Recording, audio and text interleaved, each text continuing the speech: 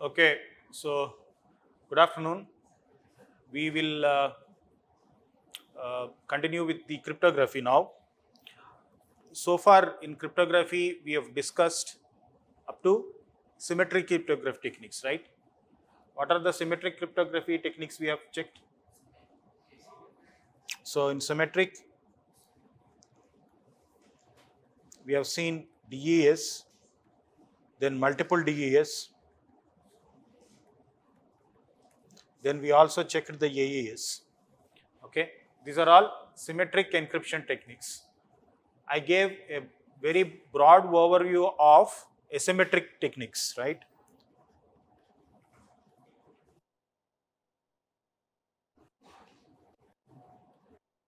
And asymmetric cryptography is also known as public key cryptography.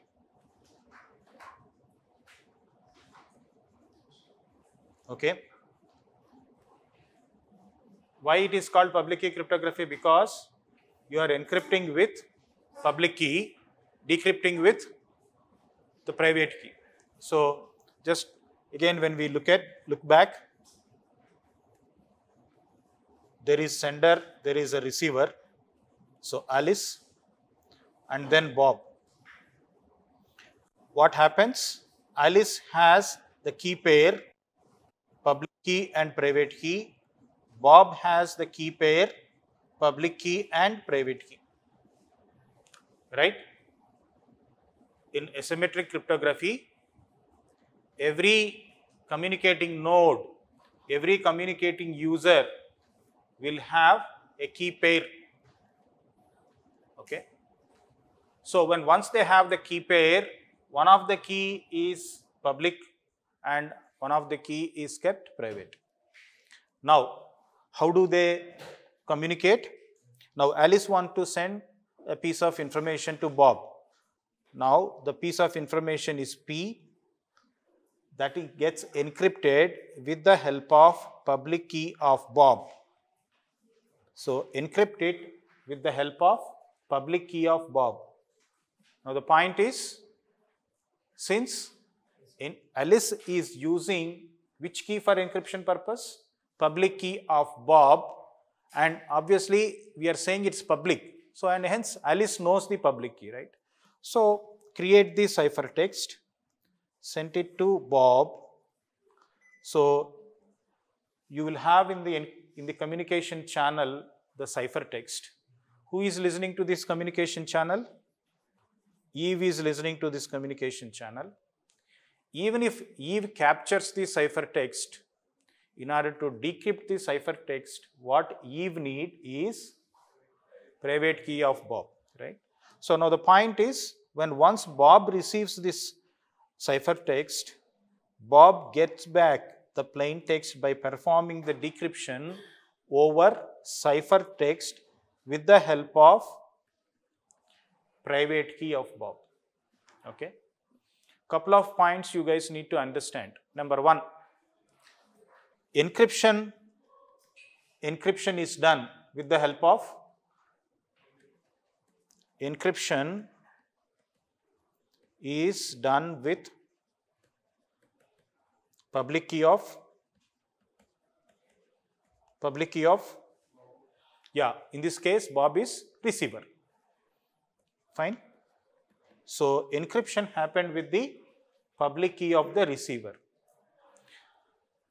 and hence it is also called as public key encryption because encryption happened with the case of public key. Now, second, what is the second point? Decryption is done with the private key of private key of receiver and in order to do perform decryption what is needed is private key and private key is known only to the receiver who is nothing but here Bob. Eve will not know that particular private key. So now the point is what is the we are doing with uh, sender's public key and private key? What is that we are doing with sender's public key and private key?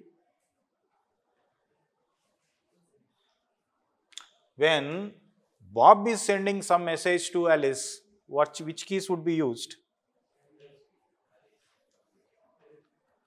When Bob is sending something to Alice, whose keys would be used? Alice.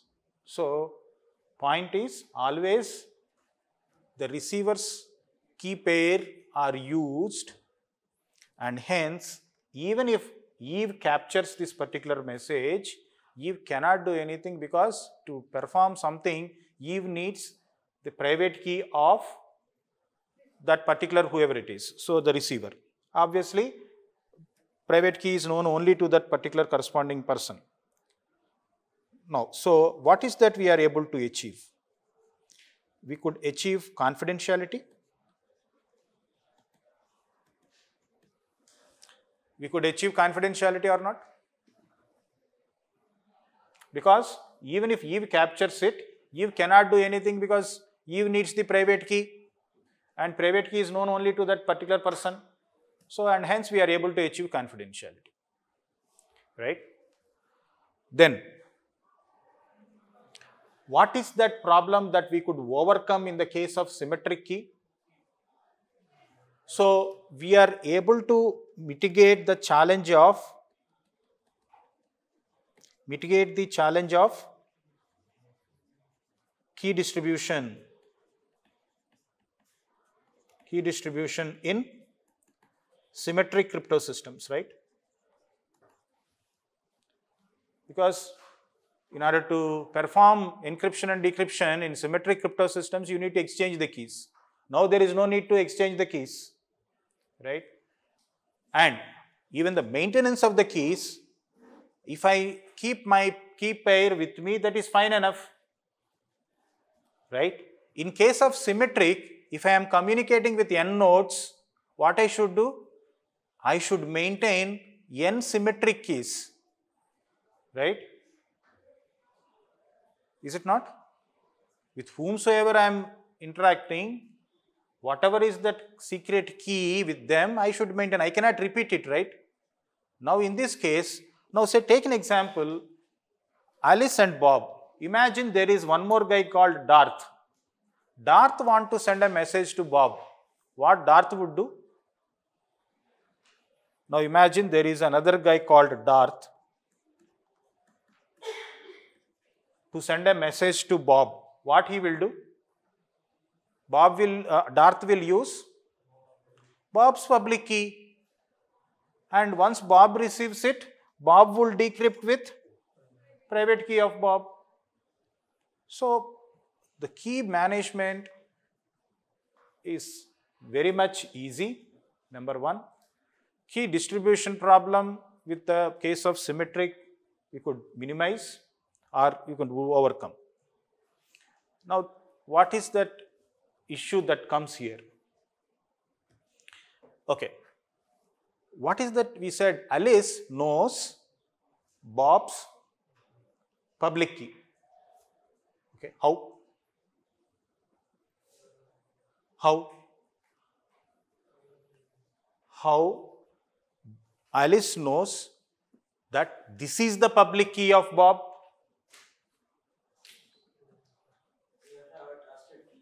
So the point is that what is that it is Another dimension to this is authentication. What is meant by authentication? How the nodes knows the public key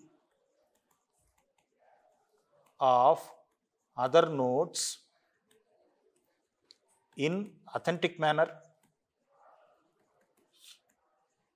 When I say authentic manner, what is the challenge that comes here is that man in middle attack. Okay. So somebody sits in between like Eve. When Alice is trying to get the public key of Bob, Eve takes the public key of Bob and pushes his public key to Alice. So what is that is compromised here is the authentication. How do we know what is the authentication? So let us see. Imagine if encryption is happening like this. Alice, okay, let me go this way. Okay, encryption is happening in this way. Alice, Bob, what they have? Key pair,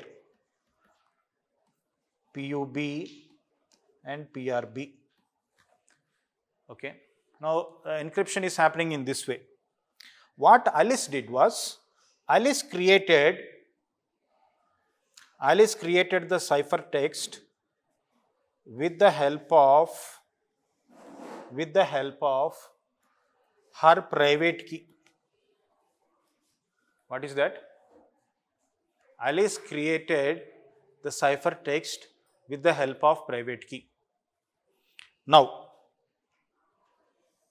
it is sent to Bob. Bob decrypts it, that particular ciphertext, with the help of Alice public key. So, now you see for encryption and decryption purpose what is used? Receiver's key pair, sorry sender's key pair. In the previous scenario what are used? Receiver's key pair. Now what are used? Sender's key pair. So encryption with private key of sender and decryption with public key of sender. Right? So that means one important thing one should understand is whenever you are doing encryption and decryption you should use the keys from the same pair. You know generally you know graduate students especially those who are learning cryptography they get often confused key from one pair and key from other pair. Uh, no, that's not the way. So you should use keys from the same pair. So either, either receiver's public key for encryption purpose and receiver's private key for decryption purpose or sender's private key for encryption purpose and sender's public key for decryption purpose. Now tell me at the receiver side, is it possible to decrypt or not? Decryption is happening with the help of public key of sender. Does receiver knows the public key of sender? Yes. Receiver knows the public key of sender. So decryption is always possible, right? Then encryption has happened with the private key of sender and anyway sender knows his private key so obviously encryption is possible. Now, when you look at this, can anybody attack this scenario? Can anybody attack this scenario? Can Eve decrypt this? Can Eve decrypt this or not? Decryption is with the help of public key of sender. Now, can Eve decrypt it or not? Why only Eve? Anybody can decrypt because it is it is encrypted with the private key and decryption is with the public key. Public key is public. Anybody can decrypt it. So what is lost? There is no confidentiality. So in this scenario, in this scenario, there is no confidentiality. But what is gained in this? Why we, if you, there is no confidentiality, why we are going for this? We are going for this, the reason is, look at the first scenario. Look at the first scenario. Bob is getting the message from Alice. How the message has come? By encrypting with the Bob's public key. And decryption is possible with private key of Bob. Now, how does that Bob knows, who sent this message? whether Alice sent the message or Darth sent the message. How does, how does Bob verifies it? Is there any way?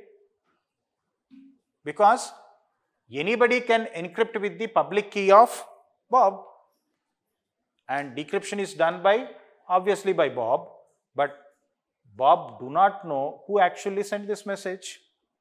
Now look at the scenario, second scenario. In order to decrypt the message, what Bob needs?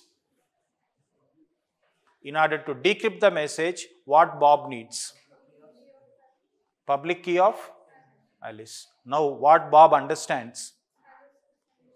Who sent the message? That is called the authentication. So you are able to achieve authentication. You are able to achieve authentication in this scenario, but lost confidentiality. In the case of first scenario, in the case of first scenario, what is achieved confidentiality and what is lost or what is not there? No authentication. Okay. No authentication. Okay. So, how do I achieve both?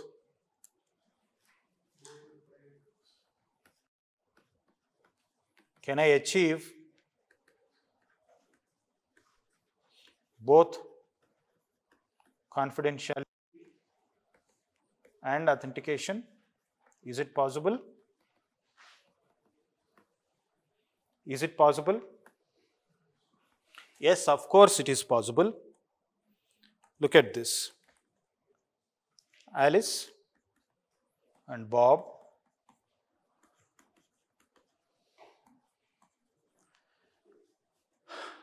and tell me what is happening. Your message, okay, say take an example, it is P. What happened? The message is encrypted with the help of with the help of? With the help of? Private key of? Of the sender. Sender's private key known to the sender. So first you encrypt with the help of sender's private key. So encrypting with the help of sender's private key and decrypting with the help of sender's public key what is that you achieve authentication right? So you can achieve authentication. Now when you encrypt it with private key of the sender whatever you get is the intermediate ciphertext intermediate ciphertext that intermediate ciphertext is encrypted with that intermediate ciphertext is again encrypted with with what? What is this? Public key of receiver. Okay. So, you perform encryption two times. Once, first with the private key of sender, then with public key of receiver. What you achieve? Confidentiality. Now, what is there in the communication channel? The ciphertext that whatever you have encrypted with the public key of receiver. Now, that particular ciphertext, if somebody wants to break, what is that they need? They need private key of the receiver, which you know we are assuming that private key is kept secret. So, in the communication channel, you have the ciphertext, which is actually encrypted with the sender's public key, right. Now, at the receiver side, what you do? The reverse process for this particular encryption. What is the last encryption that is done? The last encryption is done with the help of public key of the receiver and hence the decryption, decryption with private key of receiver. What you get? Is intermediate ciphertext, that particular Y, right? The Y you get. right? Now, how do I decrypt Y? How do I decrypt Y? With the help of what is that it is done the first one You have done with the private key of sender. So decrypt with public key of sender. So what you get is both confidentiality and authentication. Both are able to be achieved while uh, doing the communication right? So, this is about fundamentals of public key cryptography. But what is that it is main root is that first of all, first of all, at Alice side what is needed? Alice side what is needed? Key pair, key pair. At Bob side what is needed? Again key pair. Imagine there is Darth. What is needed? Key pair. So that means what is that important for public key cryptography algorithm is that first of all I should be able to generate I should be able to generate the key pairs. What type of key pairs? Number one, when I generate the key pair, I should be able to encrypt with one key and be able to decrypt with another key. And first of all, most important thing is your PUA is equal to PRA or not equal to PRA. So first of all, these two key keys in the pair should not be equal. PUA is not equal to PRA, right? Because you are keeping one public. Number one, encrypting with one key should be able to allow you to perform decryption with another key. That is another important parameter.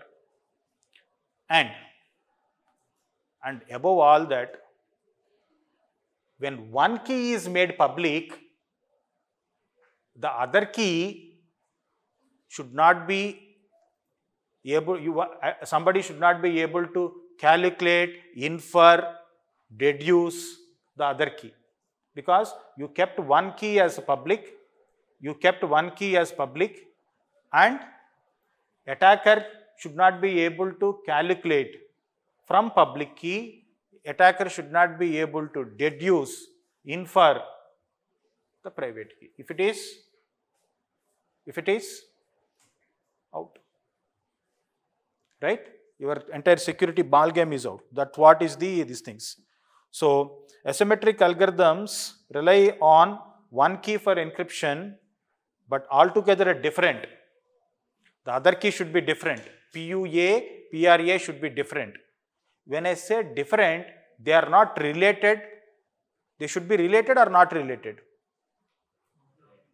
If it is not related, how will you be able to perform encryption and then perform the decryption?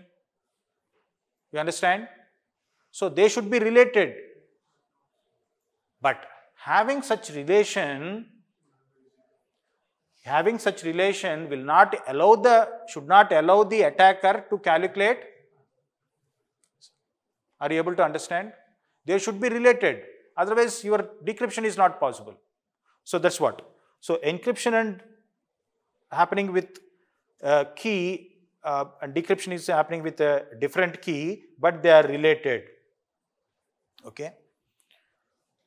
So, number one, what are the characteristics? It should be computationally infeasible. Knowing one key, able to calculate the other key, it should be computationally infeasible. And either of the keys can be used for encryption, other one can be used for decryption. What is meant by that?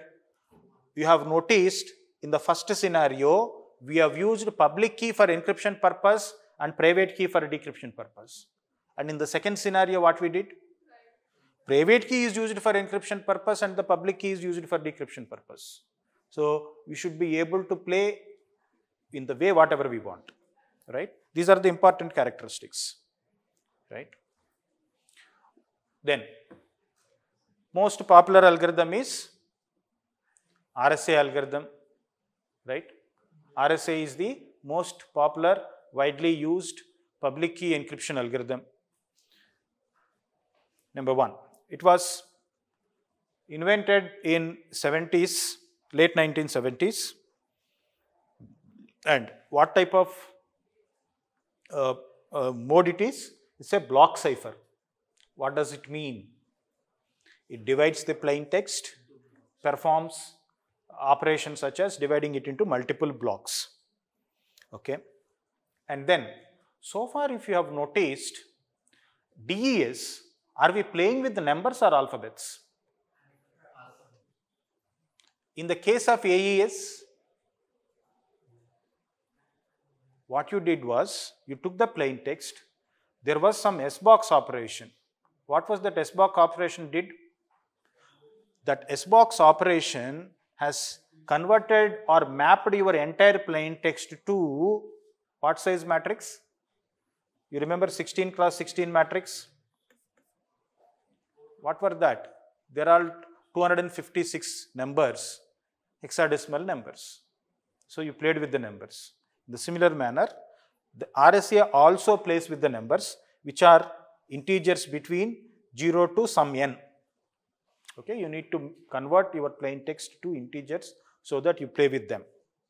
Okay, and you can have the block size of 2024 and more is the size, more is the strength for the key. Okay, and fundamentally, if you look at the symmetric ciphers such as AES and DES, there is no mathematical problem on top of that, you know, these ciphers are designed. Whereas in the case of RSA, there is a fundamentally, a, a fundamentally a mathematical problem, which so far people could not identify a computationally feasible algorithm. I repeat, RSA is rooted on a mathematical problem for which there is no computationally feasible algorithm. What is that? The point is that there is a problem in uh, mathematical literature wherein which it is difficult to find the, the prime factors of a large number. Okay. So, there is no computationally feasible algorithm. When we say large numbers, we are not referring to one digit, two digit, three digit. Rather, we are talking about digits of magnitude 200 digits, 300 digits, right? So, in terms of bit, you can think that 1024 bit, 2048 bit and more. We are referring to the numbers of that magnitude, okay? If you fundamentally look at the RSA algorithm, RSA has three components. One is key encryption, key generation, encryption and decryption. These are the three components the RSA algorithm has. If you look at the AES and DES, no, you get the key and then key expansion algorithm are there or key scheduling algorithm are there, but you don't have key generation, right? So typically this is the algorithm of RSA what the algorithm says, choose or generate two large distinct prime numbers, okay. identify, generate two large distinct prime numbers. When we say large, when you look at the book, book will have always two digits numbers, 17 like that. Whereas in reality, in practice, they are all talking about the numbers of magnitude 200 digits of so or so. Then what you do is you calculate their product of these two prime numbers okay, and call it as n. Once you did that, find for the n value, for that particular n value, find Euler's totient value. Okay. What is meant by Euler totient value? For a particular n, what is Euler's totient value? The number of positive integers less than n and relatively prime to n. Okay. That means pick from 1 to that particular number n, what are all the numbers that are relatively prime to n. So, for that purpose you check the GCD value of 1 and n, GCD value of 2 and then n. So, you find out how many number of positive integers are there, such integers. So, typically psi of n can also be calculated as p minus 1 into q minus 1. Now, I suggest you guys check why psi of n is directly calculated as p minus 1 into q minus 1. That you please check. The William Stallings has the solution. Okay. Then second, next step is select a random integer e. What is the condition for selecting such integer? e should be less than psi of n and again e should be relatively prime to psi of n. So, select such number. Then once you did that step, the final step is calculate a number integer d which is multiplicative inverse of e. Okay. So, this particular d is multiplicative inverse of e at mod psi of n. So, calculate d and similarly the d also should have to satisfy the condition that it should be less than psi of n and d should be relatively prime to psi of n. Now, there is an algorithm called extended Euclidean algorithm to calculate this particular multiplicative inverse of E. Okay. Now, these are the around 6 steps of RSA. With this, what is that you have got now? When you notice, you have n what is n? Product of two prime numbers. What is e? e is randomly chosen integer which is relatively prime to psi of n. These two values n comma e are regarded as public key and the key and the d value that is calculated which is multiplicative inverse of e at mod psi of n is considered as the private key. Okay. Now, what are these six steps? With by calculating these six steps, what we did? We have done the key generation process. So, these six steps are meant for key generation.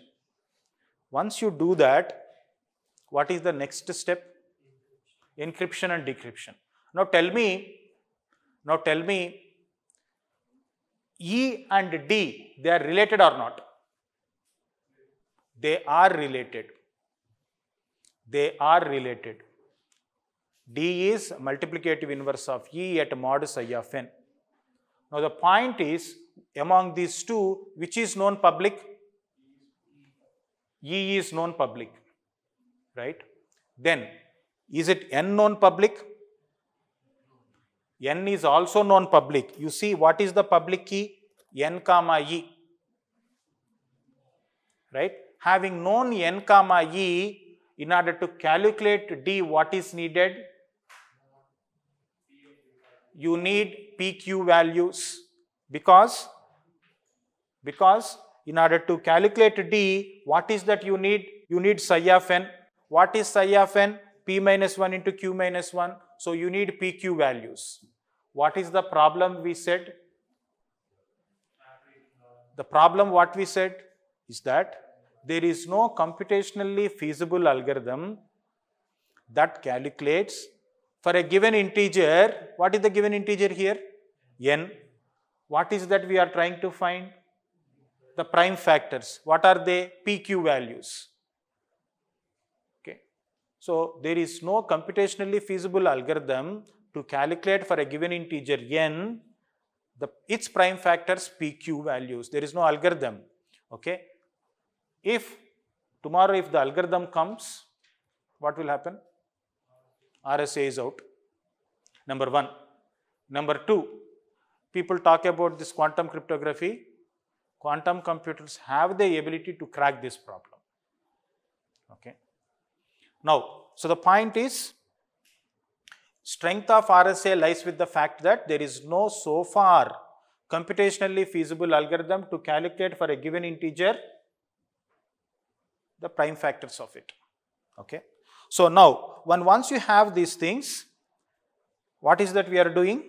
We are doing encryption process. How do you do the encryption? It is fairly simple step. C is equal to m power e mod n. Encryption has happened with the public key or private key? Huh? Public key. What is public key? E comma n. What is private key? D. So C is equal to m power e mod n, where m is the plain text. Okay. How do you do the decryption? m is equal to c power d mod n. Okay. That's all. This is the RSA algorithm. If you look at the whole ingredients of the algorithm, initially p value, q value are the prime numbers. They are chosen by the uh, uh, individual and they are kept private. Is it that they are made available anywhere? No. Now, you calculated the product of these prime numbers and called it as n and you made it as public. Right? And you have chosen a e value which is relatively prime to psi of n and you made it as a public. Then you calculated the d value which is a multiplicative inverse of e and you kept it private. These are the variables of the RSA algorithm, right? Yeah. So, when you look at the illustration of R, uh, RSA with the illustration that what we did with AES and DES, somebody feels that RSA is fairly simple. You know, you took lot of time to explain DES and AES. Looks, there are so many steps of substitution, permutation operations, doing multiple number of rounds. There is a key scheduling algorithm, right? So, symmetric, slow. When I look at the number of steps, asymmetric is very fast. But when you look at any public key cryptography algorithm, they are relatively slow when compared with the symmetric algorithm. So, RSA is slower than other algorithms. If you notice, DES is approximately 100 times faster than RSA. Okay. So, where is this slowness has come or, or why these are, uh, this one is, the main culprit is the key generation process. Okay. It is the key generation process that makes the, uh, mm, uh, this one uh, slow. Now, when you look at, just to give you a feel of, uh, you know, we said 1024 bit, 2048 bit, you know, if you put a, if you want to display a 2048 bit number in a decimal format, this is the number, one number. This is one number which is a 2048 bit and it is in its decimal format. So, you can think of such type of numbers, such type of length numbers and arithmetic operation on them. Number one, multiplication. Number two, to the powers, calculating to the powers. So, all that. Okay. So, people are able to crack the RSA algorithm for lower sizes keys, 512 bit and so even 768 bit and all. That's why people are going, now minimum standard is 1024 bit length uh, key for RSA, right. So, we will pass here. Uh, we got key T, madam, we have T, right. So, are you able to get the feel of public key cryptography algorithms, right?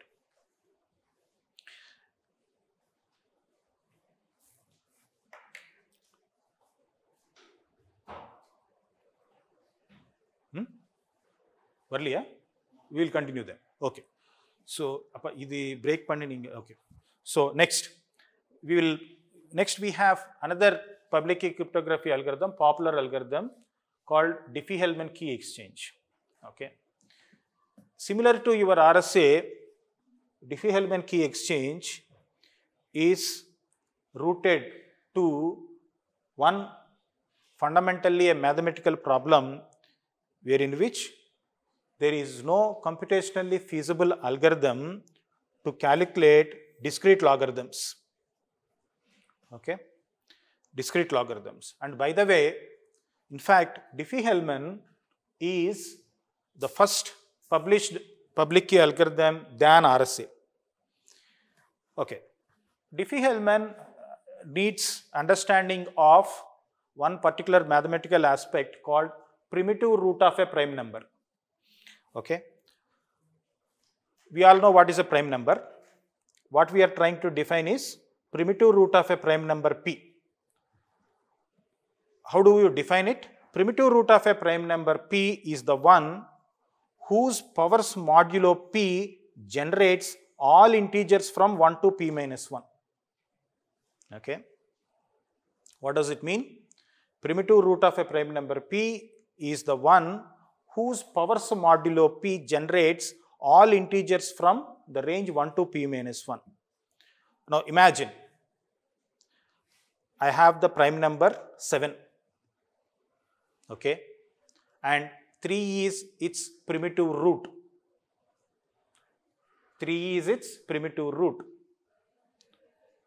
why because all its powers what is meant by all its powers 3 power 1 3 power 2 3 power 3 3 power 4 and so on up to when up to this prime number minus 1. What is the prime number I have? 7. 7 minus 1 that is 6. So 3 power 1 to whatever the p minus 1 3 power 6 at mod 7 what are the values I am getting? If you notice you see 3 mod 7 3 3 square mod 7 2 3 cube mod 7 6 3 power 4 mod 7 4 3 power 5 mod 7 5 3 power 6 mod 7 is 1 so what are all these numbers? The numbers ranging from 1 to p minus 1 is it in that order of 1 to p minus 1 no it can be in any order. Order you need not worry. But the result if you notice, primitive root power, primitive root powers mod that prime number gives you the values in the range from 1 to p minus 1. Okay. Right. This, this definition you remember. Then one, once you have this, what it says? It says, imagine you have for any integer b and you have a prime number p and there is a prim, its primitive root a. What is that you have? An integer b, a prime number p and corresponding primitive root of the prime number a. Then we can find an unique exponent i in a way that b is congruent to all of you, I think you are aware of this particular symbol which is okay it is not equal. It is not equal. Is it equals? No it is congruent. What is the difference between equals equivalent and congruent? 5 is equivalent to 5 right? 5 is equivalent to 5 1 is equivalent to 1 right I am saying 1 and 13 are equal. Can I say that? No. 1 is a different number, 13 is a different number. But I can say 1 and 13 are congruent. Okay? At mod 12. That's why your 24 hour clock and 12 hour clock, if you notice, you know, especially railway timetable and all, 13 hours is afternoon 1 we are that means 1 and 13 we are they are equal at what? At mod 12 right? So the congruence congruence has a different meaning and equivalent has a different meaning. So this is b is congruent to a power i at mod p. So now what is that definition we says Imagine you have an integer for any integer b and there is a prime number p and its corresponding root of the prime number a. Then what is that it says? We can find an unique exponent i in a way that b is congruent to a power i mod p. Now this particular exponent i is referred as discrete logarithm of b for the base a at mod p. Okay. This is referred as, that particular i is referred as discrete logarithm of b for the base a at mod p. How do you write that? d is i is equal to discrete logarithm of b for the base a at mod p. Okay, this is how you do you write. Okay. Once you know these concepts, this is what is Diffie-Hellman key exchange algorithm. As the name itself says, the purpose of this particular algorithm is the purpose of this particular algorithm is key exchange. Where the problem of key exchange comes? Hmm? Correct. When you are implementing symmetric encryption algorithms, what is needed? Key need to be established, key need to be exchanged. So, Diffie-Hellman key exchange algorithm is meant for the purpose of exchanging the symmetric keys. Okay. Now, what are the steps of the algorithm? The step of the algorithm starts with two publicly known numbers p and a. What are p and a? p is the prime number, a is its primitive root. They are known publicly, globally, p and a. Now, there are two communicating nodes Alice and Bob. What Alice did? Alice selected a random integer called xa and the condition is xa is less than the prime number and from that Alice calculated ya. How Alice has calculated? Primitive root to the power xa mod p. What is the primitive root? a. Will Alice knows that or not?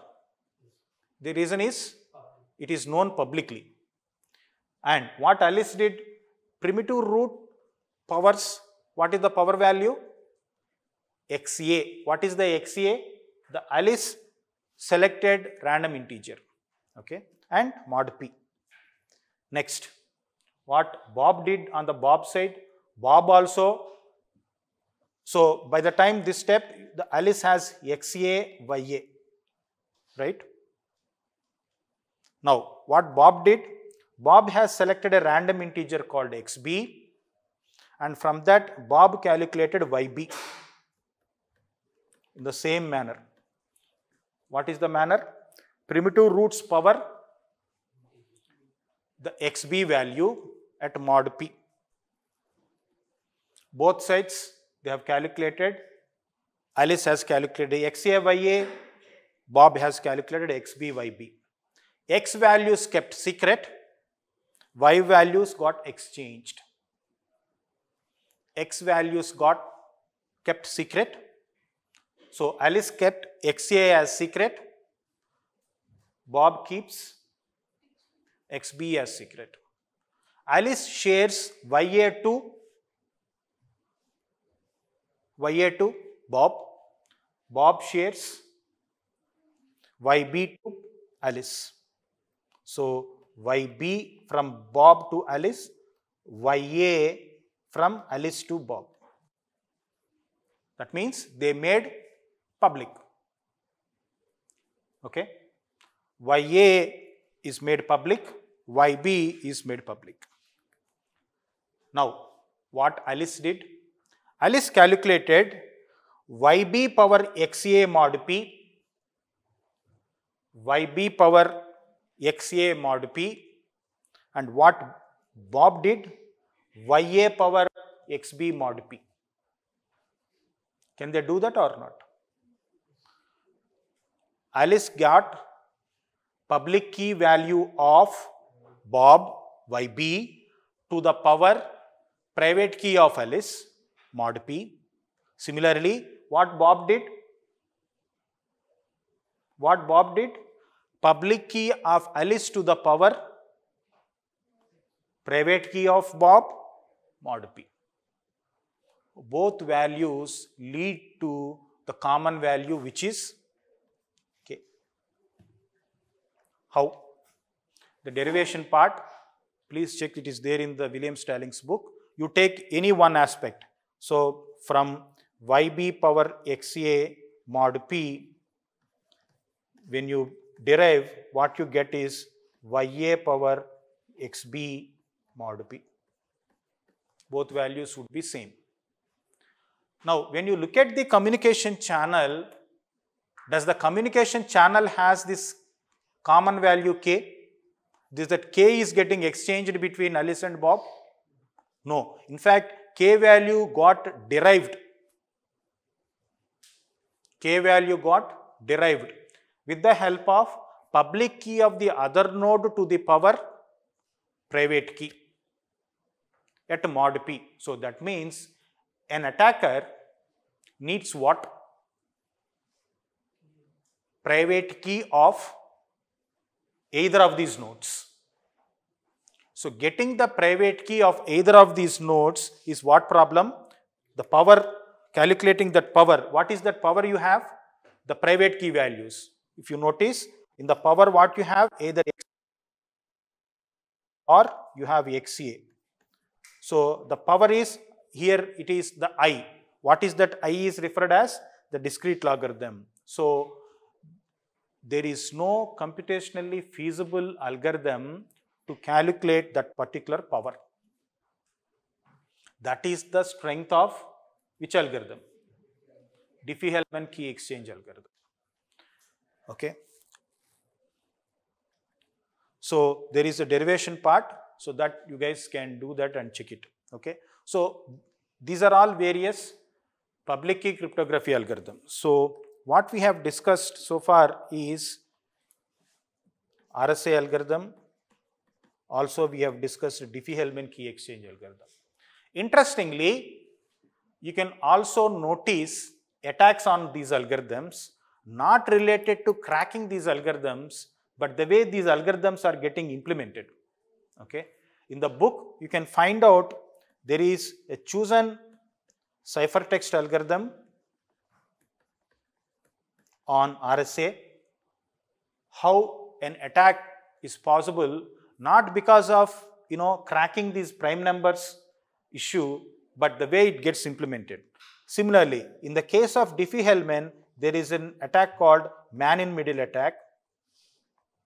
And when you look at the attack was possible not because of the vulnerability that is there or are uh, able to solve the mathematical problem, but the way that algorithm gets implemented. Okay. So, these issues are happens because the way of implementation. And hence, these are all called side channel attacks. Okay. They leak these information, some pieces of information, bits and pieces of information and then implement the attack. Okay. So, now again let us go back to the Diffie-Hellman key exchange. What is that we did with the Diffie-Hellman key exchange? We could, we could, what we did? Finally, when you finish the algorithm, what is that happened? Key key got established, right? You need to understand that key got established, number one. Number two, what is the other point we discussed? Public key algorithms are slower or faster? Slower than symmetric algorithms, right? So, that is the reason why all practical implementations of cryptography algorithms, what happens is symmetric encryption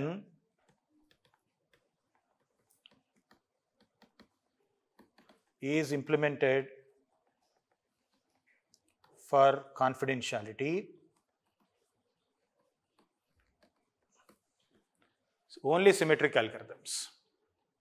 So then why we are going for asymmetric? So the we go for asymmetric for key exchange. When I say key exchange, which key exchange? Symmetric key exchange. We said symmetric algorithms, there is a challenge, right? That is the issue. Okay? Fine? Is that done? Are you able to follow? There are varieties of uh, you know asymmetric key algorithms. Okay, so you need to understand core philosophy of why we are going for what. Okay, with this we will pass. Please have a cup of tea. Okay.